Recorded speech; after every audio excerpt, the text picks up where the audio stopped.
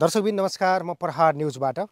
केही दिन अगाडि मात्रै हामीले चुलुहा चौधरीको विषयमा भिडियो सामग्री तपाईँहरूमा प्रस्तुत गरेका थियौँ। उहाँका विभिन्न समस्याहरू देखिए। दसैँ हिन्दूहरूको महान चाड। दसैँमा पनि उहाँको खानेकुराहरू केही पनि नभएको उहाँ आफै पीडित एक त नागरिकता पनि विहीन भएको लगायतका धेरै कुराहरू तपाईँले हाम्रो भिडियो सामग्री मार्फत तपाईँले जानकारी पाइसक्नु भएको छ। र हामीले आज चुलुहा चौधरीको लागि केही सहयोग सामग्रीहरू लिएर आएका छौँ। यो कपडा हो र यसमा रेडियो पनि छ। उहाँलाई असाध्यै मनपर्ने रेडियो प्रेमी हुनुहुन्छ। उहाँ रेडियो सुन्ने मान्छे उहाँको रेडियो बिग्रियो भन्नुभयो र अ, मैले रेडियो पनि यसमा राखिदिएको छ हाम्रो टिमले। र यो केही खानेकुराहरू छ र ग्यास सिद्धिएको छ भनेपछि हामीले ग्यास चुलो पनि भरेर ल्याइदिएका छौँ र चामल पनि ल्याइदिएका छौँ। र यो पहिलो चरणको सहयोग हो हामीलाई। र हाम्रो स्थानीय हुनुहुन्छ उहाँले धेरै सहयोग गर्नुभयो। हामीले हामीलाई जानकारी दिनुभयो। यसरी यसरी पीडित छ तपाईँहरू आइदिनु पऱ्यो भन्नुभयो हामी आएको श्री सर लगायत मेचिकाली टिम सबैले सम्झिन चाहन्छु। बजराज थापा सनम जीसी अ, लगायत सबैले सम्झिन पनि चाहन्छु र श्री सरलाई मैले रिक्वेस्ट गरेँ।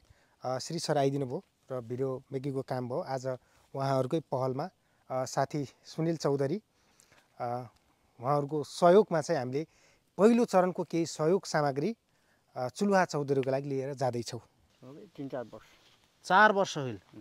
ओहो उहाँ चाहिँ चार वर्षदेखि मासु खानुभएको रहेनछ। कस्तो हुन्छ मासुको स्वाद भन्ने उहाँलाई थाहा छैन। लाउनुहोस्। यी कै रुपियाँ हो। हजार हो। कै हजार हो। तिन। हो लु एक दुई तिन हजार रुपियाँ उहाँलाई नगद उपलब्ध गराएका छौँ। राख्नुहोला है त। रेडियो र केही आज खुसी ल्याएका छौँ खुसी छाएको छ उहाँ थोरै भए पनि हाँस्नु भएको छ है। एकचोटि हाँसी त होइन त आफ्नो जीवनमा हाँसो कना नै हो। हाँसो खुसी सबै लुटिएर एउटा आँसु र पीडामा डुबुल्की मारिराखेका चुलुवा चौधरीको जीवनमा केही खुसी छाओस् भन्नका लागि केही सामग्रीहरू उपलब्ध गराएका छौँ। हुन्छ सबै सबैको कल्याण होस्। सक्यो सब बागानतिर भए। हो त्यस्तै अब हो हातमा शरीरमा तागत सबै लगाए अँ सबैले काम गराए खाए सबैले गरे। अब खाएको त त्यसै खाएनन् खान त पैसै दिए पैसा दिए। उम्, पैसा त दिए। अब हुने बेला यिनले पनि खाए बिचरा बाउलाई पाले आफूले उ गरे बाउ मरे काचकिरे गरे सबै गरे। गरे अब सक्को आफ्नो उमेर पनि सक्को बाउ पनि मरे। र अब उमेर तलबी दिन दिन दिने अब तलबी तलबी जाने हो माथि आउने होइन। बच्चा भयो पो माथि आउने हो। अब बड्डो त तलबी जाने हो। र अब कसले गरिदिन्छ र अब भोगे बाबा अवस्थाबारे यहाँका वडा अध्यक्ष विष्णुराम आचार्य हुनुहुन्छ है। अहिले विश्वराम आचार्य उहाँलाई जानकारी गराउनु भयो? उहाँले त अब नागरिकता बनाउनु जाने बेला ऊ गर्ने बेला वराको सिप सिपारी लगाउने बेला जानकारी त भयो होला नि। किन हुन यहाँ अब यी अध्यक्ष यी खर्का मन मन खर्का भन्ने हुनुहुन्छ। अब हिँड्ने यही बाटो यही हो हिँड्ने। सदस्य हुनुहुन्छ खै त्यहाँले पनि हेर्नुहुन्न कसैले हेर्दैन। त्यही त भनेर दुखाएर कसले हेर्छ लौ हेर्नुहोस् सरकारले पनि हेर्दैन। गाउँले पनि हेर्दैन। दुःख पऱ्यो भने कसैले हेर्दैन। म त यदि म आफू पनि दुःख भएको मान्छे हुँ हेर्नुहोस्। उहाँ नेपाली नागरिक हुँ भन्ने आधार त छैन तर नेपाली रेडियो खुब सुन्नुहुन्छ। नेपाली एफएमहरू सुन्नुहुँदो रहेछ। तर बिग्रिएको वर्षौँ भयो अहिले वञ्चित हुनुहुन्छ आफ्नो सहारा एउटा तपाईँको साथी हो रेडियो। ल बजाउनुहोस् त। तपाईँको लागि नयाँ रेडियो ल्याइदिएका छौँ हामीले। ब्याट्री पनि छ है यसमा ब्याट्री अँ, ब्याट्री यो चार्जिङ पनि हुन्छ। ल बजाउनुहोस् बजाउनुहोस्। बजाउ यो अलि टा हो। खै?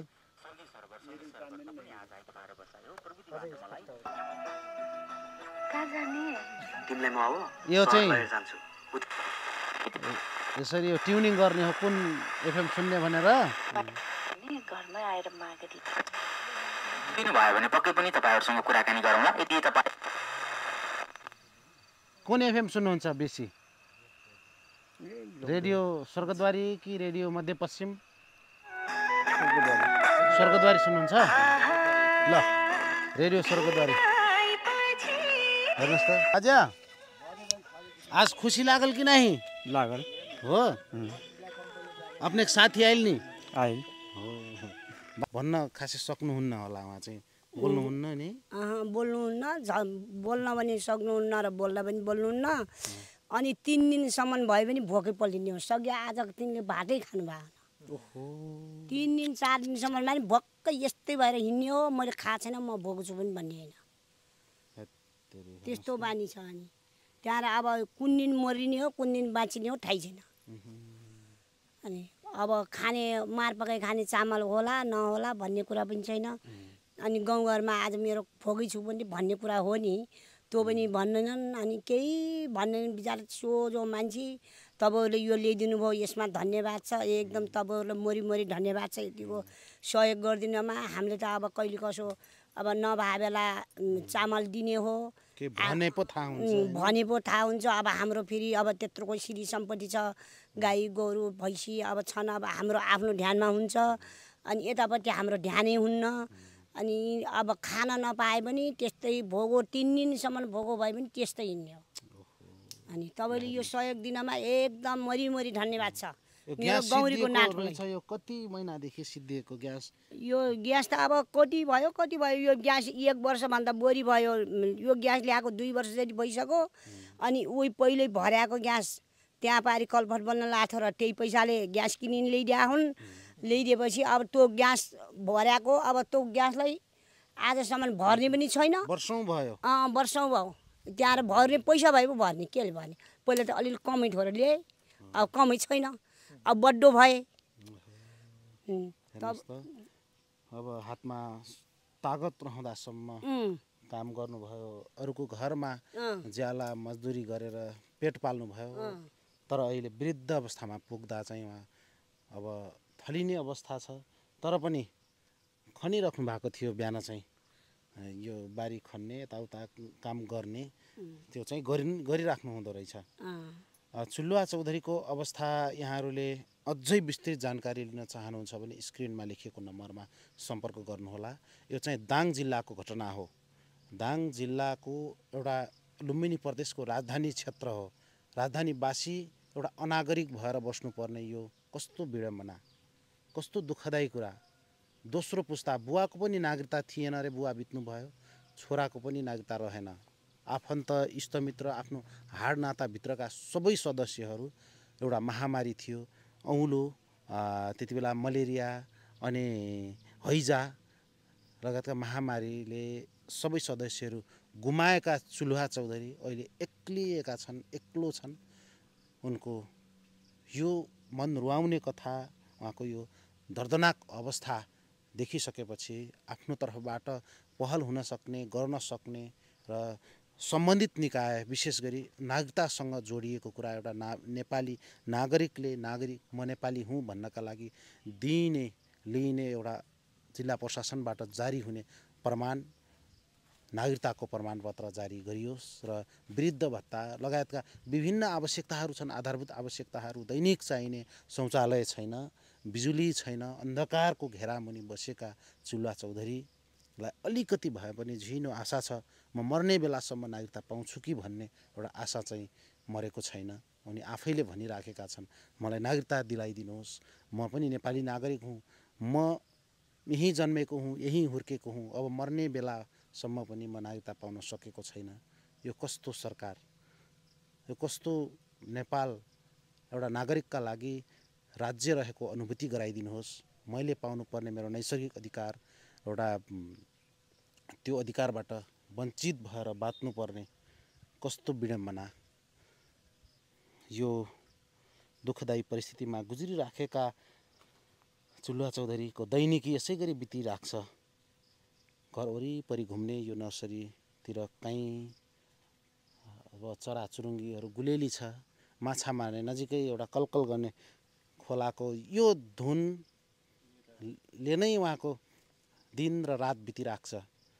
वर्षौँ भयो यो ग्यास सिलिन्डर भर्न नसकेको र भोकभोकै बसेको। अब भर्खरै आमाले भन्नुभयो सायद तिन दिन भयो होला भोकै यसरी पहिला अलि मोटो हुनुहुन्थ्यो? अलि मोटो किन हुन? अलि मोटो हुनुहुन्थ्यो। अब बड्डो हुँदै जाँदा खाने अब कम हुँदै गएको छ त्यही त हो। अब बुढेसकाल लागेपछि त्यसै त हो। बसी जस्तो कहाँ हुन्छ त बड्डो हुने बेला त अलि ज्वानमा त अब जोत्ने गोरु जोत्ने अनि छेउकुना खन्ने सबै गर्ने गर्थे सबै अनि काम पनि अब सबैले आइज मेरो गर्न आइज भन्थे उसले मेरो गर्न आइज भन्थे। अब बुढेसकाल लायो अब छेउकुना खन्न पनि सक्दैनन् अब अलि अब अलिअलि खने पनि त्यस्तो खन्न सकिन्न मान्छेले पनि काम लगाउने पनि धेर जस्तो लगान्नन्। अब फेरि ट्र्याक्टरले जोत्छन्।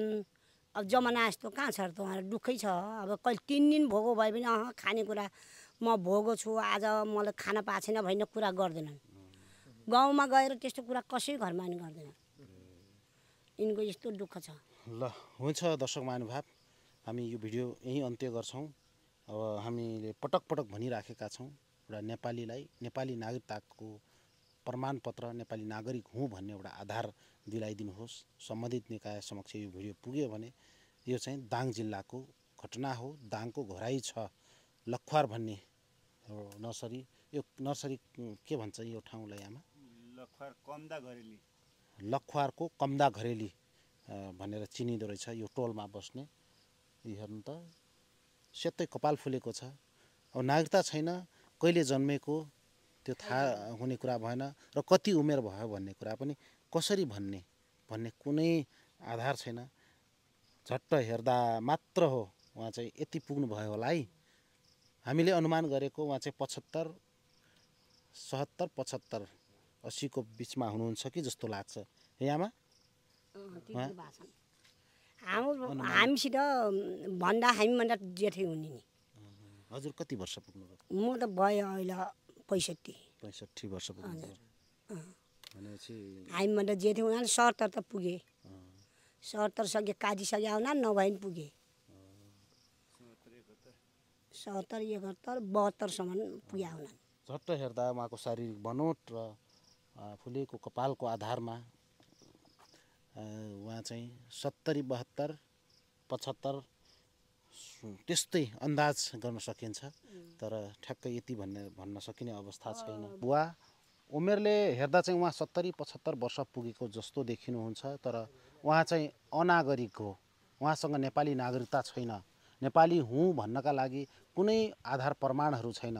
हेर्नुहोस् त अब चाहिँ जीवनको उत्तरार्धको घडीमा पुगिसक्दा पनि उहाँसँग नेपाली नागरिकता प्राप्त गर्न नसक्नु उहाँको कमजोरी हो या त राज्य स्तरबाट उहाँलाई त्यो खालको विभेद गरिएको हो। के कति कारणले उहाँले नागरिकता पाउनु भएको छैन? नागरिकता प्राप्तिका निमित्त हामीले हाम्रो सञ्चार माध्यमबाट भ्याएसम्म जोडबल गर्नेछौँ पहल गर्नेछौँ र त्यो सहजीकरणको वातावरण मिलाउने प्रयास गर्नेछौँ। स्थानीयले पटक पटक यहाँका स्थानीय टोलवासीले उहाँको नागरिकता प्राप्तिका निमित्त धेरै पहल गर्नुभयो सिफारिस गर्नुभयो र तथापि त्यो काम हुन सकेको छैन। त्यो एउटा पाटो रहला अर्को कुरा उहाँको बुवाको निधन भइसके पश्चात उहाँको एउटा सहारा भनेकै रेडियो थियो। रेडियो बिग्रिएको वर्षौँ भयो। वर्षौँ पछि आज रेडियो सुन्ने वातावरण मिलाएका छौँ। नयाँ रेडियो खरिद गरेर हामीले उहाँका लागि ल्याइदिएका छौँ। अब नयाँ यसरी ट्युन गर्ने। लाउनु। रेडियो बज्छ अब। रेडियो आयो तपाईँको साथी। खुब मनपर्छ तपाईँलाई रेडियो? खुब मनपर्छ। हो। ल त्यसपछि वर्षौँदेखि यो निभेको चुलोमा आगो बाल्नका निमित्त ग्यास सिलिन्डर सकिएको थियो।